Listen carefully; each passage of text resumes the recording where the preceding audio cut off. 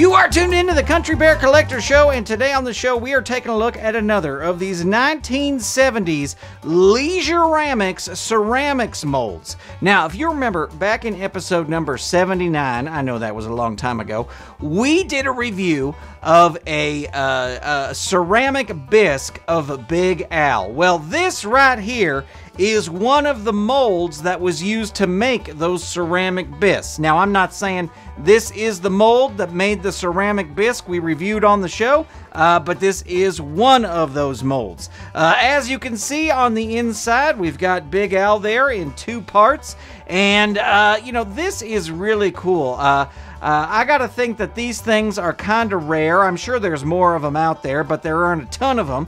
And, uh, you know, it is a mold uh, that we can use to make more Big Al's. Now, as I mentioned in the in the TED episode uh, where we reviewed this, uh, the the TED mold like this, uh, these molds are really only good for making ceramics. So if we wanted to make more ceramics, we certainly could with this. Um, but uh, for right now, this is what we've got. I think this is really neat.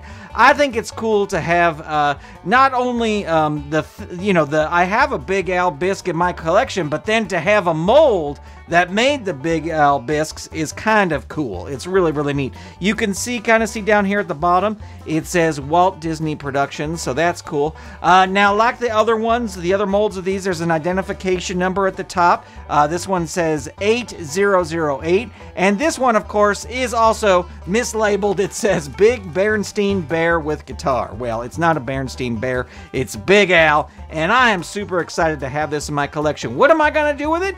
I don't know. It's just part of my collection, and I'm glad it's part of my collection, and I'm going to give it four paws. What do you think about this mold? Let me know in the comments below or over on our Instagram page or anywhere else we are on social media. And hey, make sure you're following us on social media. We'd love to have you following along. And if you really love the show, make sure you're subscribed to the show. That way you'll get new episodes the moment they are released. Well, that's going to do it for this time.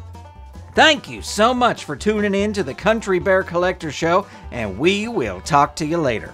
If you enjoyed the show, give us a like and click the subscribe button. If you'd like to see the show continue, consider supporting Saturday Morning Media via Patreon at patreon.com forward slash Saturday Morning Media.